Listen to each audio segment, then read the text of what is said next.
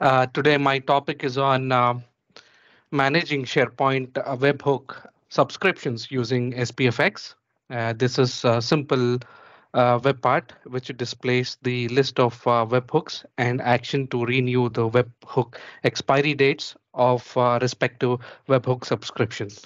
So before I jump into the demo, I would like to introduce myself uh, quite briefly. Uh, my name is Nishkalank. Uh, people call me as Nish. I'm working as a senior RAM 365 technical specialist at TietoEVRY Create based in Stockholm.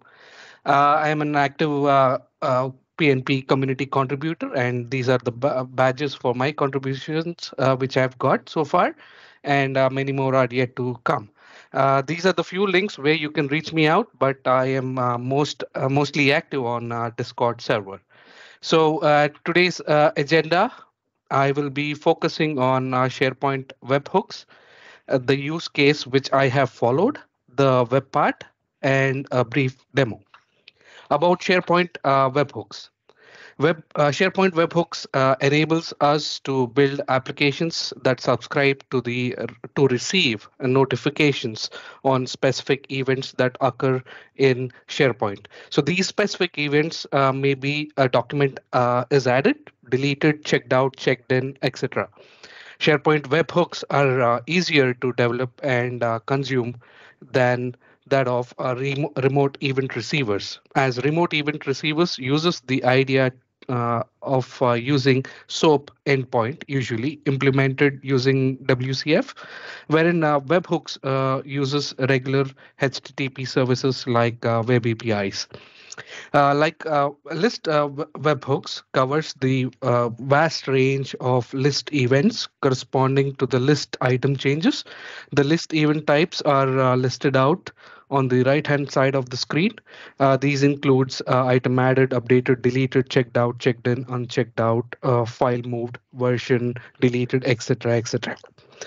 Uh, SharePoint webhooks uh, also provide a simple notification pipeline so your application can be aware of what changes it is doing or it is getting. So uh, the uh, the use case which I have used is uh, from the Microsoft uh, documentation itself. I have not completely implemented this, but I have implemented in a similar way as shown in the figure. I have created a SharePoint webhook as an uh, Azure function, which uses the HTTP trigger the function URL uh, is then added as a webhook subscription to the intended lists or libraries. This function will be triggered whenever there is a change in uh, uh, lists or libraries. Once it is triggered, the function will receive the notification from the SharePoint and processes the notification.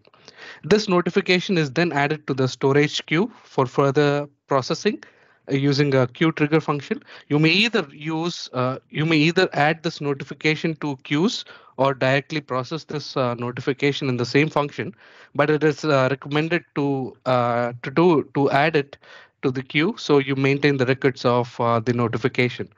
Uh, the most important part here is the get changes CSOM API uh, which is used during the processing the uh, notification. This API is to determine what actually uh, has changed on that particular item. Uh, this is a basic scenario, as we all know, and uh, hence can be implemented in many different ways. I myself have used it, used this in my previous projects, where we had to manage all these subscriptions at hub level individually or using an automated script. So when I said the word managing here, it is because the webhook subscriptions are set to expire after 180 days by default. And uh, we have many ways to renew the webhook subscriptions. The, bo- the most effective way I would say is uh, is to use PowerShell. Uh, but but then uh, this is where my idea has come to implement uh, this or like implement it using a web part, which uses uh, REST API, making some simple HTTP calls. So the web part, the, uh, this web part sample is developed to renew the subscription date of the list webhooks, a simple one. The idea of this web part was that uh, that I have set up set this uh, set this uh, web part at uh, hub level assuming that I can fetch all the sites which are associated to the hub, and uh, it lists, uh, I mean, uh, sites and as well as its lists which are available. On uh, list or library selections, the available webhook subscriptions are displayed accordingly. If uh, the webhook is expired, the uh, web part gives us the possibility to renew the subscription via web part. So now uh, let me quickly uh, show you the uh, web part. All right.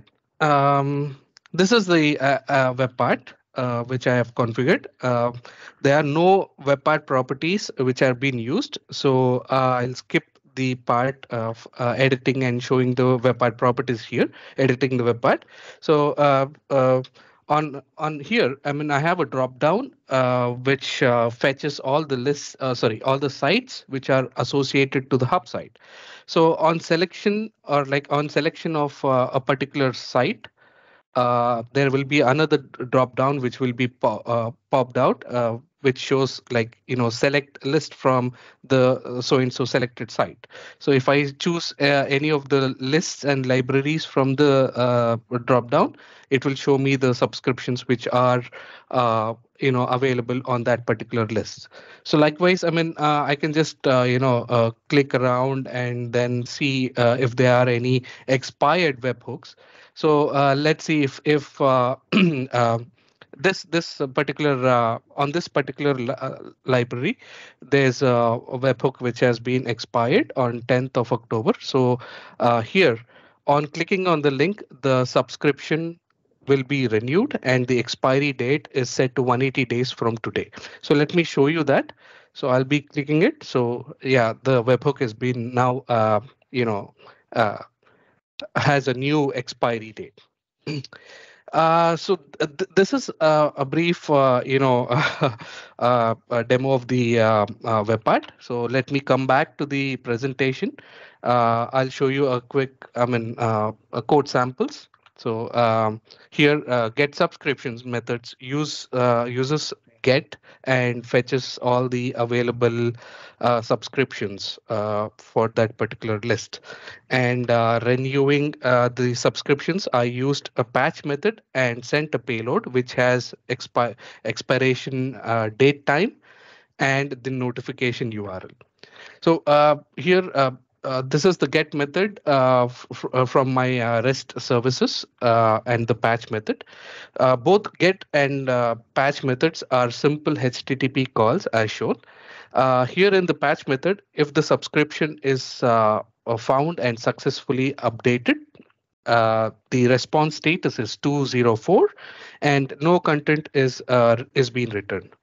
So this sample is available in PNP samples gallery and uh, this is an apt sample or example on how we can work on SharePoint uh, webhook subscriptions, which can be, of course, be uh, improved in any way that is appropriate for uh, our own needs. So with this, I uh, conclude my second demo in the community. I thank everybody. Uh, I I mean I thank uh, the community for recognizing and uh, giving me this opportunity today. I thank Vesa, David, Hugo for the from the community team. You are awesome. Uh, thanks, uh, thanks to Giacomo, jo- uh, Joel uh, Rodrigues, Adam Wojcik, for your constant support. I personally thank Pascal Sok from TietoEVRY for always backing me. Thank you, everybody. You guys rock. Thank you.